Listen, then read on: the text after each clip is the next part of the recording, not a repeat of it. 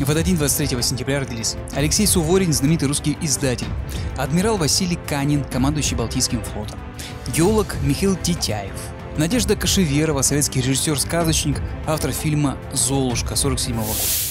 Свою творческую карьеру Кашеверова начала с фабрики эксцентричного кино, где она была ученицей и ассистенткой у режиссеров Козинцева и Трауберга, а продолжила на киностудии «Ленфильм» двумя десятками картин фильмографии. «Укротительница тигров», «Тень», «Царевич Проша», «Осторожно, бабушка», «Старая-старая сказка» и незабываемая «Золушка», снимавшаяся в полуразрушенном военном Ленинграде. Киносказки давались Надежде с видимой легкостью. Коллеги вспоминали о том, что она вечно металась с монтировками в зубах, покупала реквизит и лично занималась кастингом актеров. От маленькой грустной Жеймо, вдруг показавшейся Золушкой, до импульсивного Даля, который ради Кашеверовой готов был руку оторвать и выбросить, если понадобится. Режиссер умела не только создавать атмосферу на съемочной площадке, но и запоминаться коллегам коллегам надолго, как работоспособностью, так и личной харизмой. Как они вспоминали, говорила она боском, курила и при первом знакомстве не произвела на меня никакого впечатления. В дальнейшем же мне показалось, что она хороший парень. Надежный, славный парень при всей своей коренастой, дамской и вместе длинноногой фигуре.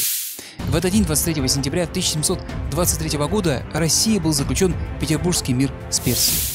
Еще во время Северной войны государь Петр I не переставал зондировать вопрос установления торговых отношений с Индией, Китаем, прочей Азией. Однако военная экспедиция 1717 года на Хиву потерпела неудачу, а кабардинский князь Александр Бекович Черкасский был обезглавлен в Средней Азии – за разведку и попытку возвращения на родину русских рабов.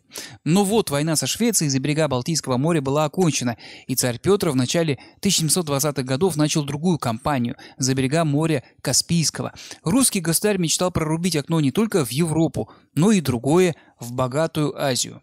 Итогом нескольких лет похода стал Петербургский мирный договор с Персией. Согласно его пунктам, Россия брала на себя обязательство быть приятелем тем, кто шаху и персидскому государству приятель, и неприятелем тем, которые шаху и персидскому государству неприятели.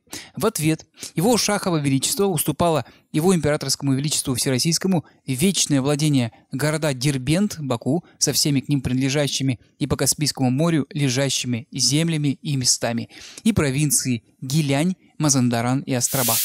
Это были провинции на самом юге Каспия. Для России это море стало чуть ли не внутренним, однако русские гарнизоны недолго стояли в этих экзотических южных землях. Уже через 10 лет императрица Анна Иоанновна вернула Персии все закаспийские земли в обмен на право беспошлинной торговли.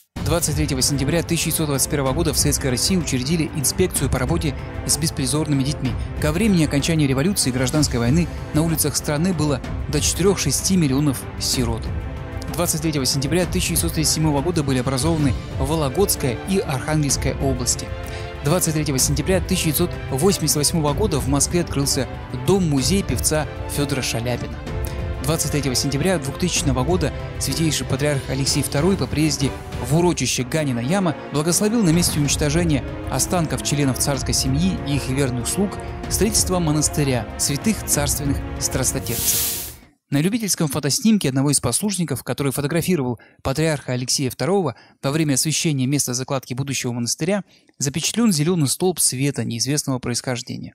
А еще, по воспоминаниям очевидцев, во время закладки первого креста на месте убийства царской семьи тучи раздвинулись и солнечный луч осветил крест. Многих присутствующих посещало ощущение какого-то необыкновенного важного события.